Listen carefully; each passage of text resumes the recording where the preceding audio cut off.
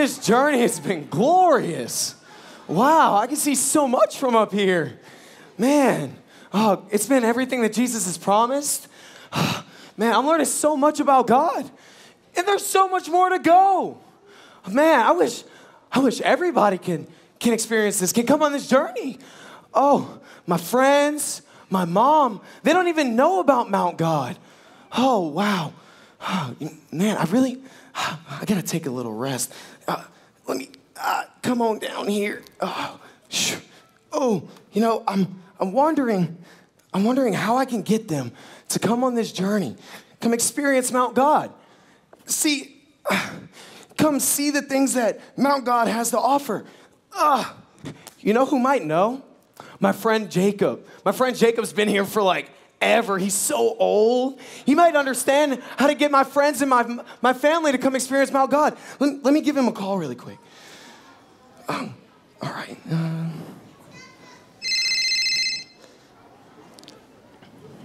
Hey, what up, dude? How you doing? Hey, uh, I'm doing well. I'm doing well, actually.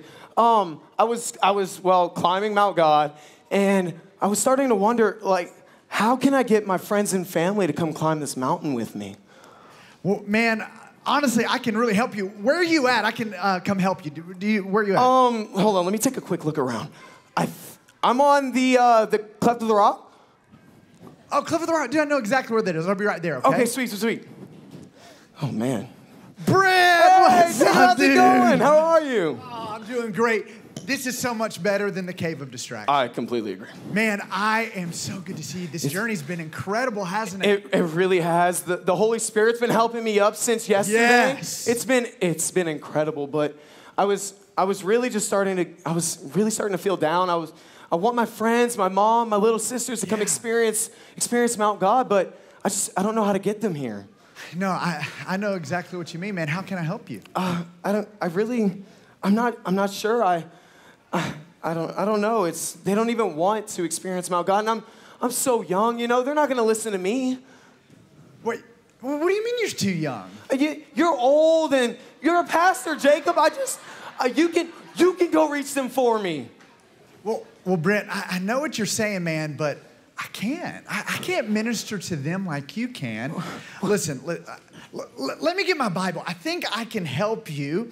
Um, let's see. You know, it reminds me of a story. There was a young man by the name of Jeremiah, who was in the same situation as you are, Brent. Now, now I love this scripture, guys. It's one of my favorite scriptures. Listen to what it says. Uh, Jeremiah was in the same place, and God spoke to Jeremiah. And listen to what God said to Jeremiah. It says this Then the word of the Lord came to me, saying, Before I formed you in the womb, I knew you. Before you were born, I sanctified you. Everybody say sanctified. Listen, that's a big word that means to be set apart. I ordained you a prophet to the nations. Isn't that so cool? That shows me, listen, God has a purpose for your life. Say, I have a purpose. And, and that word set apart literally means it's like there's this huge group of people. You know, there's like almost 1,200 people in the room. And then you know what it means to be set apart? It means stand up. This is my daughter Reese. Boom. He picks you up out of the whole crowd and says, I want to use you. Thank you. You can sit down.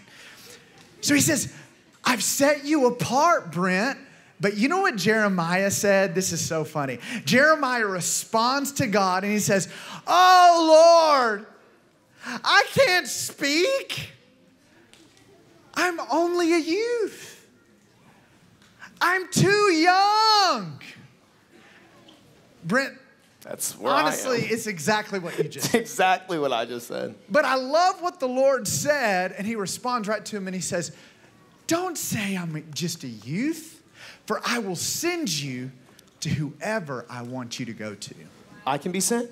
You can be sent. Because, dude, I can't go to your elementary school. I can't go to your school. I can't go to your home. Man, you're there. But you know what? Also, the Bible, also, there's this guy named Paul who wrote to uh, his young disciple named Timothy. Everybody say Timothy. And he wrote to Timothy and he said this in 1 Timothy 4:12. Let no one despise you for your youth. You see that? But listen, what does it say? Be an example. Everybody say example. To the believers in word, in conduct, in love, in spirit, in faith, in purity. Come on, isn't that awesome? Say, I'm an example. So listen, Brent, this is what this means, guys. This is, this is what it means. Listen, that means when you leave here, you're called to be an example to everyone around you.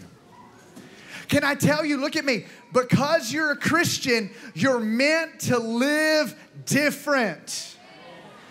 That means, Brent, what's gonna happen is you're gonna go back home and they're gonna see the joy in your life. They're gonna see the peace in your life. They're gonna see how just radiant you are with God. And you know what's gonna happen? They're gonna look at Him and they're gonna say, Brent, whatever happened to you, I wanna happen in me. Sounds awesome. So, you know what that tells me, guys? When you go back to school in a few months, you're not just going back as a third grader. You're not just going back as a fourth grader. No, no, no. You're going back full of the Holy Spirit with Jesus on the inside of you. You're not just some normal kid. No, Christ lives on the inside of you. Listen, if you see somebody, listen, you can go back and be Jesus to your friends. When you go back to school and you see somebody who's being bullied, we don't just turn an eye to that. No, no, no. We go show the love of Jesus to them. If you see somebody sitting by themselves, you go sit beside them. You friend them. You carry that love. So, so Brent, man, you're going to be an example to all your friends when you go back. Really, and they're gonna they're gonna look up to me, and They're they're, gonna gonna look up to you, They're bro. gonna see Jesus in me. Absolutely. That's incredible. Yeah. But how do I how do I go about like talking to them? What if they don't what if they don't want to know God? What if they don't they don't listen to me? Yeah. No, I, I totally get that, man. I totally, totally, totally understand. You know what? I think I know somebody who can help. You, you met Miss Karen the other day. I right? did. I met her yesterday. Yeah, I think Miss Karen can help us because she knows how to pray for people who, who may not want to serve God, and, and she's seen some incredible things happen. And honestly, she lives up here on this mountain. So, so, so let me give her a call, okay?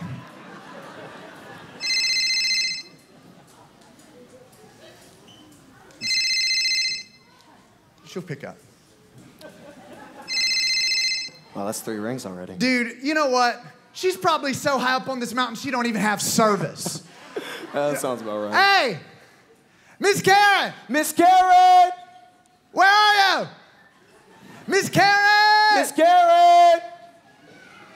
She has to hear us, right? She has to. Oh, Oh! I knew it. I knew it. You calling me? Well, Yes, we were Yes. trying to call you on your phone, but there's no service. Oh. Oh, I've been seeing some stuff up here in God. You would not believe what I have found Oh, so about awesome. God today, Jacob. Oh, I love it. Hey, Brent. Hi. How's it going? it's going well. How are What'd you? you call me down for? So, so Brent, he loves being on Mount God. Me too. And the, he wants the people that he loves to encounter God just like he has, just like I have, just as you have. But he's concerned that what if their hearts don't want to turn to God? What if they're they- they're not really hungry to climb the mountain? What what what can he do? Oh, oh, yeah. That's a real thing, Brett. You know something? I know exactly what to do. Yeah. I'm coming down there. Where are y'all? We're at the cleft of the rock. You know where it is. I know exactly where the cleft of the rock. Yeah, yeah. Give me a second. Yeah, dude, I knew. I'm on my way. She's coming. She's coming. Dude, I knew it, bro. She lives. She lives on. No, she no. she legit does. She has a timeshare up here. It's so cool. Pretty sure she owns some real estate up here. Hey. Hey, oh, so oh, glad you're oh. here. You remember Jacob. Brent. Brent. Oh. How's it going? Yeah, I just talked to you yesterday. Yes, ma'am. Oh, what about the Holy Spirit?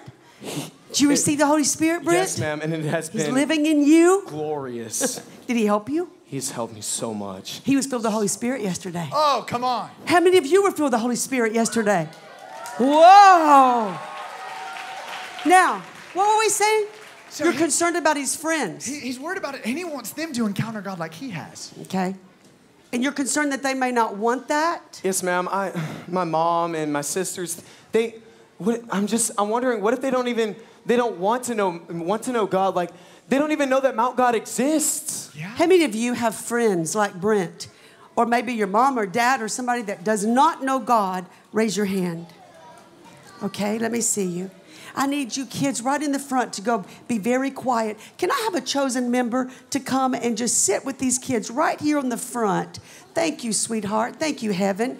And Heaven, Miss Heaven is gonna, in her name, awesome. Her name is Heaven. Thanks, Jeremiah. He's not the devil for real. He's actually an awesome man of God. Uh, the devil's bad, but Jeremiah is not. Jeremiah, can you help those boys and girls to sit there and be very quiet? That's fantastic. Heaven and Jeremiah, you just read out of Jeremiah. I did. Isn't that crazy? You just said Jeremiah thought he was too young. I did. How many of you have ever felt like you were too young to do anything for God? Put your hands down. How old was I when I was filled with the Holy Spirit? Does anybody? You already remember. Do you know what? When I was eight years old, I found out that God can use you when you're eight. God can use you when you're six. You know what happened when I received the Holy Spirit? I started telling all of my friends about it at school. I want you to sit up straight. This is our last service, and it's very important. So, will you not talk? You can talk the whole van ride home, but I really want you to listen today, all right? So, sit up straight. Say, Miss Karen, I'm listening. I, you know why I want you to get this? Because you are very important to God. You are very, very important. You matter. I don't care if you're six, five, three. I don't care how old you are. God doesn't either. You are very important. You say one more time, say, Miss Karen, I'm going to listen. Okay, now, shh. I had received the Holy Spirit when I was eight. I started telling all my friends about it at school. Some of them didn't want to hear, some of them did. And some of them wanted to receive the Holy Spirit too. And you know what? Their mother wouldn't let them come to my church because we spoke in tongues, and I didn't know about that. So I didn't know that everybody wouldn't want the Holy Ghost.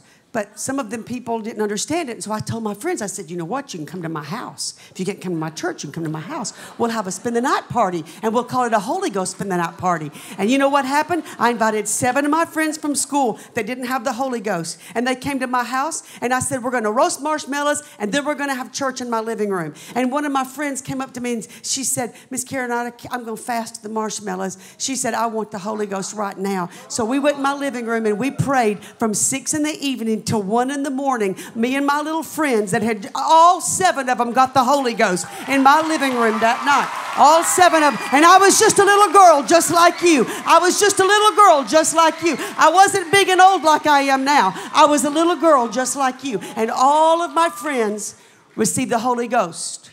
I'm glad I didn't think I was too young to preach when I was a little girl. Some people said, You can't preach. I just preached anyway because they didn't call me, God did. Yeah. So you can preach anyway. I know another little girl, Brent. Oh, this little girl, she was really, really powerful. In 1982, I was in my house getting ready for a concert. I used to sing a lot. And I was going to a concert and I was getting dressed, and all of a sudden I heard a sound from my living room across the house. I thought, what is that sound? I left the back of my house and came out, and on my television screen was a television program called 700 Club. It was an old Christian television program that they, well, they still have it on there actually. But, and oddly enough, Pat Robertson died day before yesterday. I didn't even know that until I think yesterday. I couldn't believe it. So this man that owned, that was the Over 700 Club, his show was on television, and I walked out and I looked at my television screen, 1982. President, the president of the United States at that time was President Reagan, right? And there was this little girl, about eight years old, on my television screen, and she was praying. And the power of God was so strong on that eight year old little girl, I began to weep and weep. And I never got over it listening to this little girl. She's from Romania. She was about eight. Her daddy was a pastor in this country of Romania. And when she was there, their country was under the government or the power of communism, which is a bad, bad government. It's not a good thing. And they were oppressing the Christians. And they put her daddy in prison. And they did very, very bad things to her daddy at certain times. And even this little girl and her mother and some of her siblings, they called them, I, I don't know the name of it, it was like Syrie police, but it was the communist police. They did bad things to them because they believed in Jesus. But this little girl, even when she was like five, six, and seven, she would pray and Jesus would speak to her and she would tell her family what Jesus said. And they ended up being set free from that nation. Her dad got out of prison miraculously. And they came to America. And when they came to America, they began, this, someone heard their story and put them on the 700 Club. And that's why you'll hear them, they speak, I believe it was Russian, Romanian, they speak another language, but you can understand them. And this little girl prayed. And I want you to watch Brent. I want you to watch this little girl. She's eight years old ish. And I want you to watch this little girl.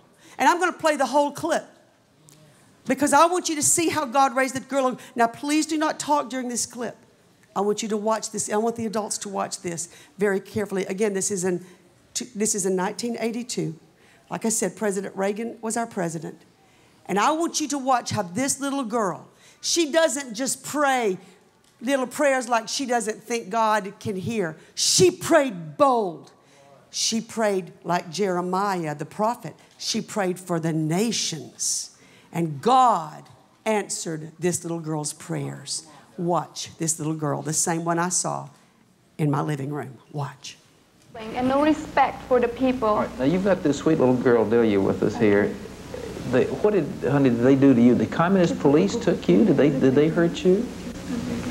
Yeah, they strangled my neck and pulled my hair in. They, they choked you. Now, how old were you then?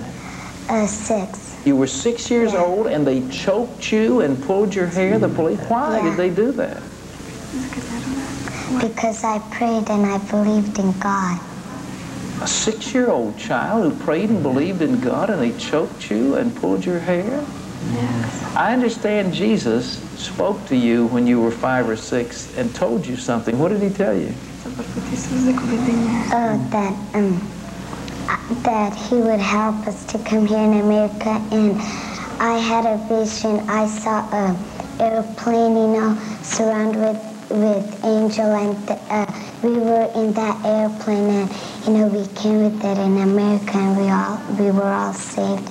You didn't, there wasn't any possibility that, of that happening though. You didn't tell, did you tell Delia you going to do that? Că știu că vii aici atunci. Eh, Noi n-am știut că venim aici. We never knew that, we never ever dreamed that we'll come to America. După ce securitatea ne-a distrus tot din casa, am stat ascunși în munți de la un frate la altul. But at a time when the Lord showed her this vision, it happened when we left behind our apartment because we, our lives were in too much danger with the sea police, and we went to live in hidings in the mountains in different Christian homes, mm-hmm. and we were very discouraged.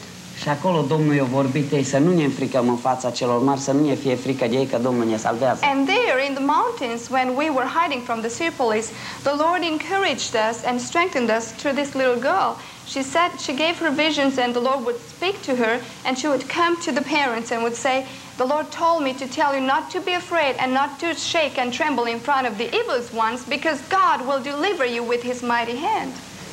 I, I wish we had more time. Uh, Donna Summers is going to sing for us in just a minute. We've, we've got to have that. But I, I want Delia to pray. I want to pray for those people in Romania. Those people in, the, I want to pray for the people in Russia. The people who don't know God and ask God to bring revival. And this little girl was in our prayer meeting and just the Lord just speaks to her. and, and I would like the people in the audience to pray. It, we just cannot have Christians under this kind of brutality. And sooner or later, God must bring down that empire of evil. It is an empire of evil. And we want to ask the, D, you pray for us. And I'm going to ask everybody across the world, wherever they're watching, to pray with you. Will you do that, huh? Dear Jesus in heaven, I pray, Lord, for the 700 Club. I ask you, Jesus, to protect this television station program. In the name of Jesus, I pray, Lord. Oh, I ask you, Jesus, to protect the 700 Club and to touch it, Jesus. In the name of Jesus, I pray, Lord, also for the people that are working here, God. I ask you to meet their needs. Bless them, Jesus, and touch their hearts, God. Protect them. In the name of Jesus, I pray, Lord. I love and I praise you, God in heaven. Oh, and now I pray, Jesus, also.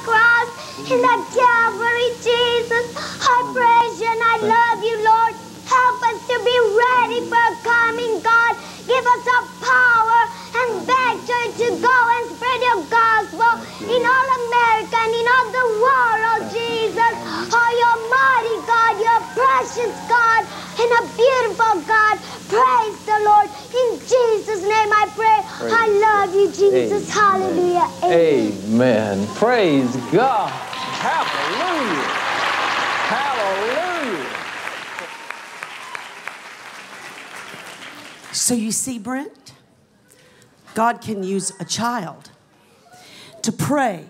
I want you to sit up and straight and listen. God can use you when you're a little girl like that.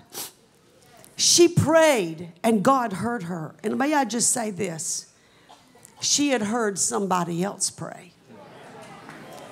Parents, grandparents, children's pastors. You have no idea how important your voice is to their ears. You pray like you want to hear them pray. That girl had heard a mom and dad pray because it was life or death for them. And they taught that little girl to pray in such a way that she moved heaven for the sake of nations.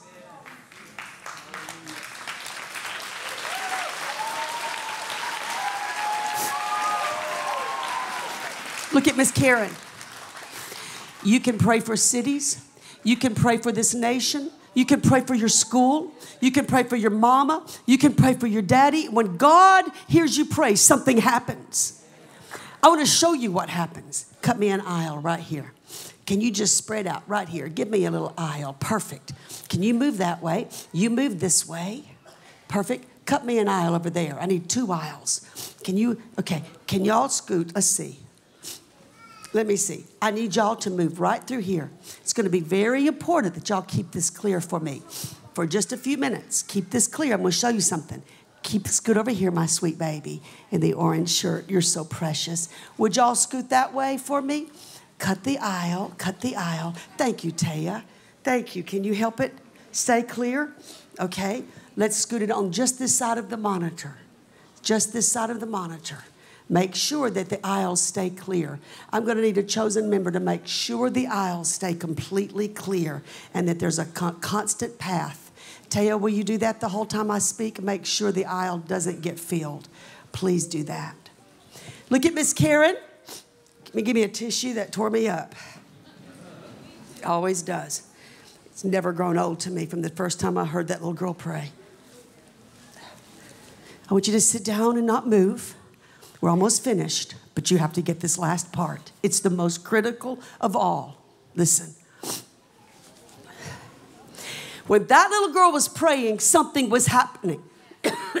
she was not just talking to the air. When you pray in your bedroom at home, you're not just talking to the ceiling or the air. God hears. Say, God hears. Say, God answers. Do you know how I showed you last night that the Holy Spirit is with me? How many of you received the Holy Spirit? How many of you have the Holy Spirit in you? Then you know what that means? Holy Spirit, come and show me, show them one more time. Since they can't, since you can't see the Holy Spirit inside of me, I'm going to let Him represent what the Holy Spirit does. I'm going to let it happen. Do you remember I told you last night where what happens? Everywhere I go, He goes. Brent, are you looking? Yes, ma'am. This means everywhere I go, He's with me, right? So that means when I get home, the Holy Spirit loves to pray. One of the Holy Spirit's favorite things to do is pray. So I love to do what the Holy Spirit likes to do. So what I do is when you get home, you need to go fix a place in your bedroom to pray. Where you can get with the Holy Spirit every day and just you and Him by yourself talk. How many of you have a bedroom or a place of your own at home? Okay? Even if you share it with somebody, you can still find you a place. You go in your room when you get home You fix you a place to pray. Some, some kids have gone in their closet before and just cleaned out a spot in their closet. And every morning, every morning, say every morning, they get in that place with God and they close that door and they have a notebook out. They write prayers to God. They pin pictures of people on the wall they're praying for. You can pin scriptures on the wall and you get in there with the Holy Spirit, and you get with the Holy Spirit every day. And you and the Holy Spirit pray in your closet. Oh, you get in that place right every morning before you go to school, before you do anything else. You get God's Word. Bring me my Bible, please. And you get God's Word, and you and the Holy Spirit, oh, you just pray, pray, pray. See, you get God's Word. This is huge. You got to love His Word. Every day you read this book. Every day. Every day. So you get your Bible, you mark it up, you write down what God is telling you, and the Holy Spirit will tell you things. Oh, yes, yes, yes. And you mark that, you write that down. You know what else you do? Because since He's living in you, you got a room for Him in your heart and your house. You take out anything in your bedroom that He doesn't like. God the Father said, I'm sending the Holy Spirit. Now, when I send Him, don't grieve Him. What does that mean, Miss Karen? Don't make Him sad. Don't do anything that makes the Holy Spirit sad. Now, then, you're not living just by yourself. Somebody's living in you, and it's the Holy Spirit. So, watch what you say, that what you say doesn't make him sad and grieved. Make sure that anything in your room, oh, stay with me, anything in your room is, is only the stuff he likes. The other day, someone was at my house and they were spending the night. I had guests. And it was late, and I wanted to go to bed, and they wanted to stay up and watch television. So as I was going to my bedroom, I walked, I told them all good night. And then I turned back around and I said to my guest in my house, I'm going to bed. Whatever you watch on my television, just remember the Holy Spirit lives in my house. So make sure anything you watch is something He will enjoy. The Holy Spirit doesn't like hearing the Father's name blasphemed. So in my house, if anything ever curses my Father's name, a movie or anything else, that thing is cut off in my house. I don't let anything in my house, I don't let a movie, I don't let anything in my house that curses my Father's name because the Holy Ghost lives in my house. So you clean out anything that's not of God. Well, just the same way that he's in me, he's in you. That's the same way he was doing for that little girl. I need somebody that can help me. Yeah. Come here. It's not just for grown ups. The Holy Spirit, just like that little girl that prayed. What is your name? My name is Soraya. Araya? Soraya. Oh, pretty. How old are you? Eight. Eight. How about that? She's eight. So, Soraya, I want you to walk over there. I want you to, Soraya, do you have Jesus in your heart? I thought so. Holy Spirit is in your heart? Yes. Oh, looky there. Even a heart on her shirt. Holy Spirit is living in there. Holy Spirit, pretend like you're going to school and watch what happens to Soraya when she goes to school. When she leaves the ramp from this afternoon, Holy Spirit's not going to stay in this building by, by himself. You know what he's going to do?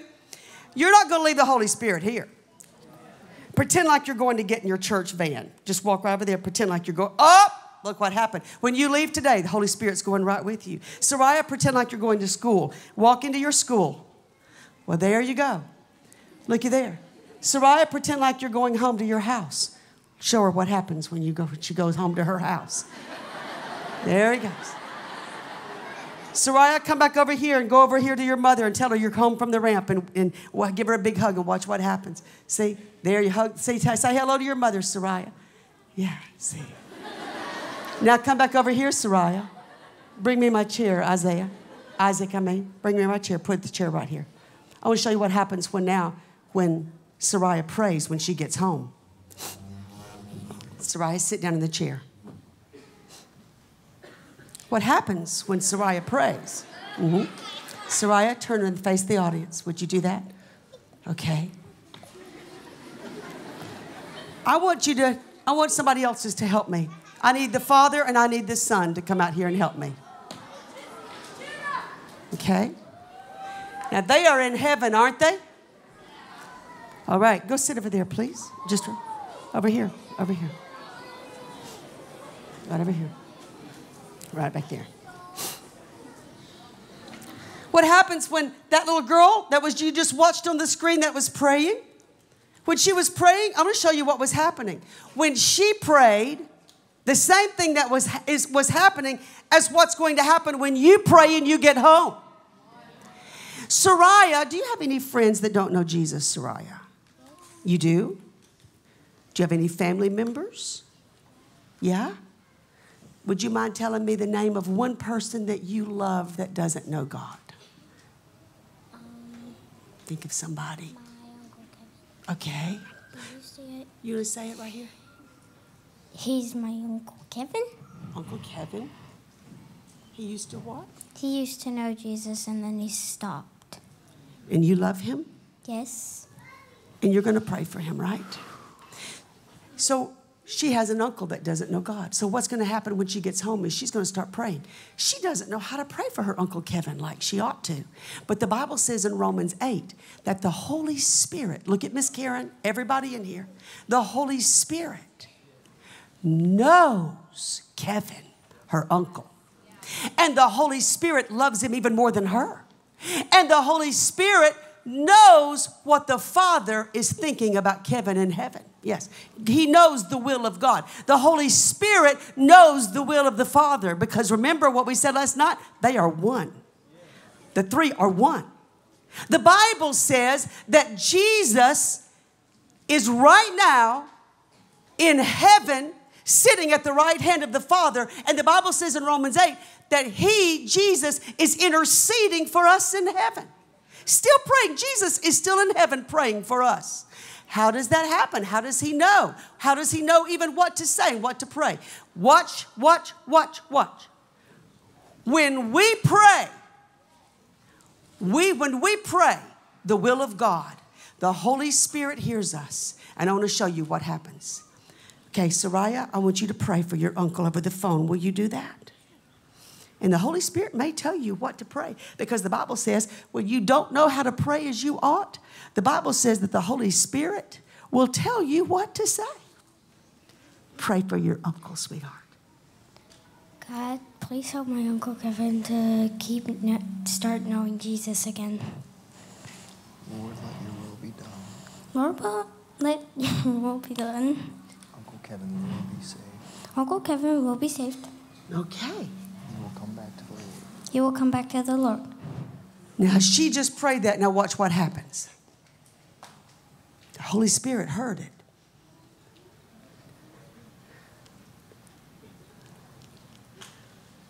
The three are one. Jesus interceding to the Father about Uncle Kevin.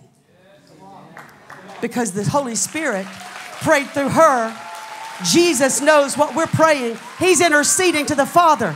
The will of God is to save Uncle Kevin. So, watch what happens.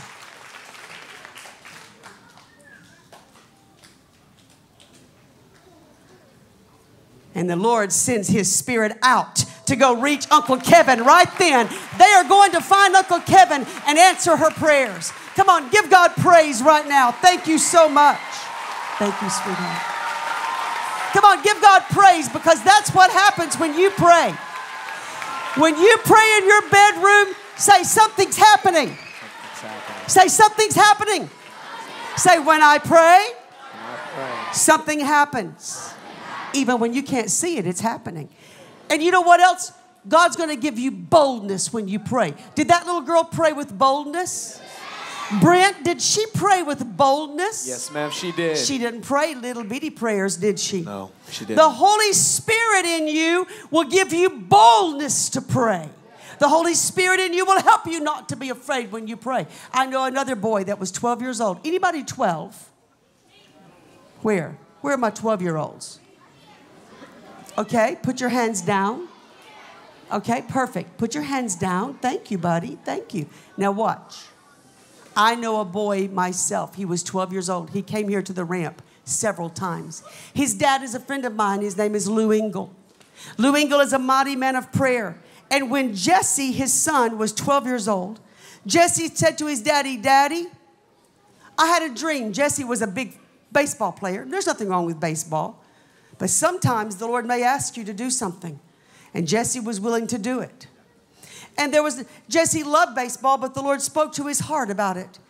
And called Jesse at 12 years old to run with his dad's mission to bring revival to America and end abortion and send revival to this generation. So, in the year 1999, Jesse was 12 years old. And he went on a 40 day fast with his father. His father was doing a complete 40 day fast. Jesse, at 12 years old, did a fast of, of liquids and smoothies and juices only at 12 years old for 40 days. And tell them the dream Jesse had. Jacob, tell Brent the dream he had. Yeah, so Brent, he has this dream. Listen, when you begin to seek God, God's going to speak to you in so many different ways, even through dreams at night. And Jesse had this incredible dream where in the dream, there was the God gang and then there was the devil gang. And they were playing in a big basketball game against each other. And well, he wanted to be a part of the game. So he went and asked, Hey, I want to sign up because I want to be on God's gang.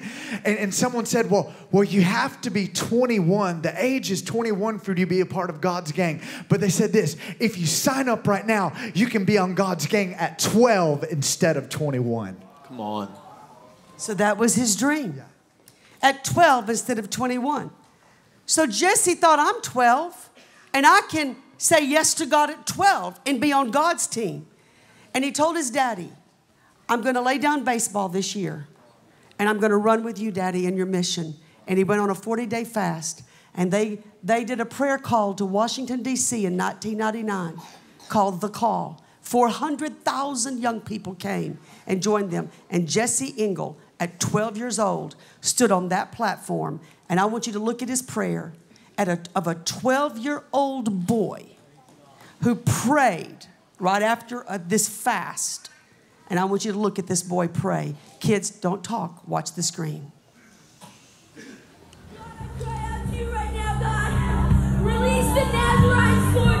John the Baptist. Crying in the desert, Lord. Burning in the desert for you, on fire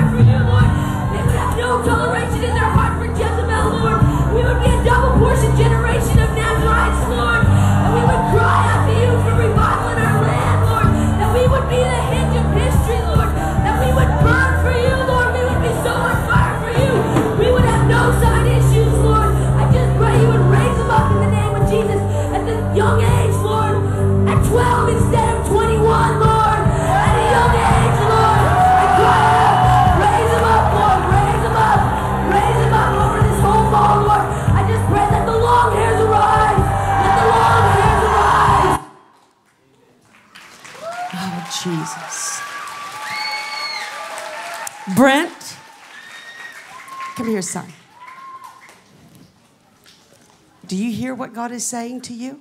Yes, ma'am. That little girl was about eight years old. That boy was 12 years old.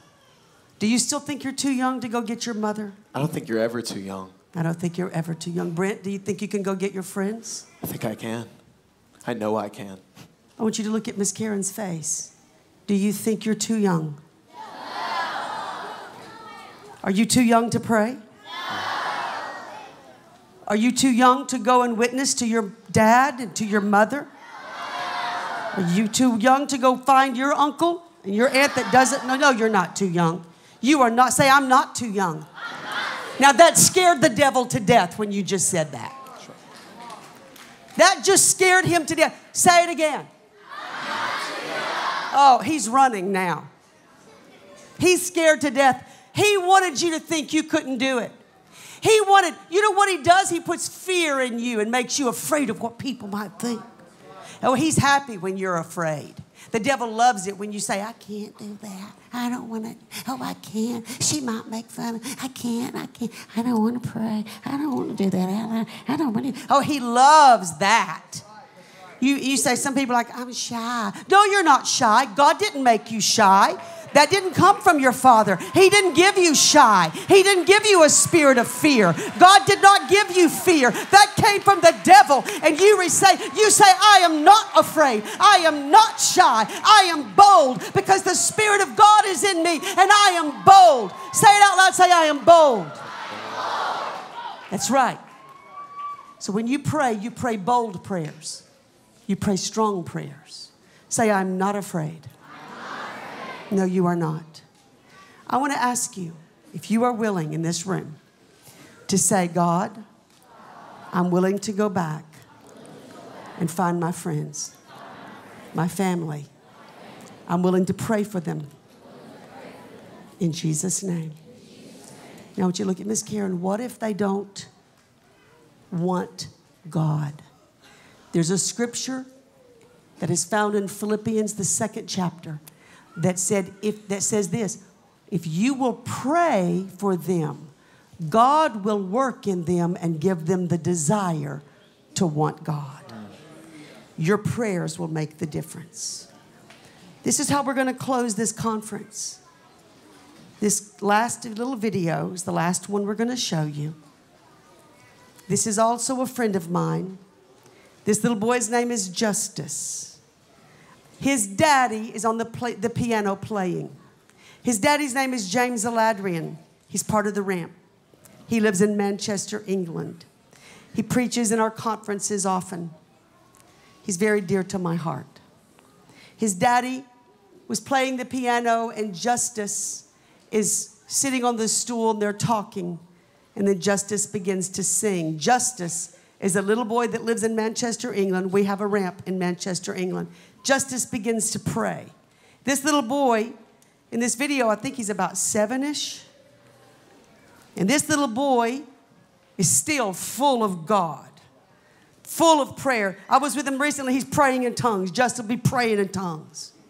And I want you to watch this little boy. I want you to hear what he says. And this is the song I want you to leave this conference with. It's a very short video, but please listen. Watch.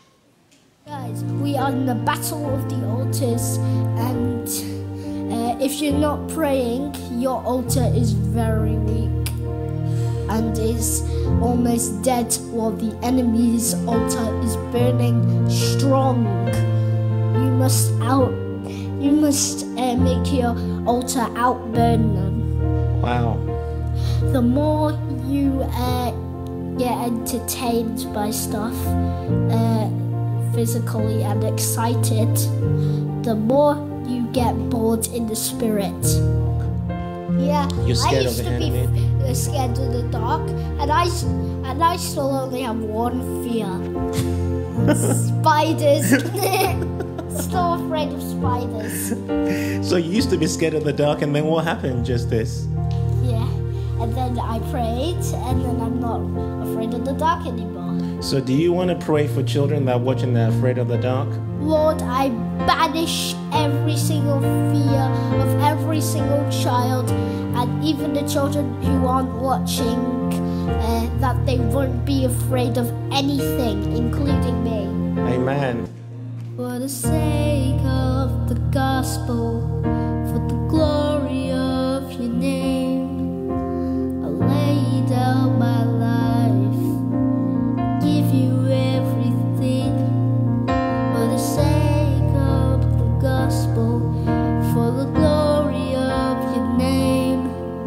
I will go into the world, God, and say love it's on its way.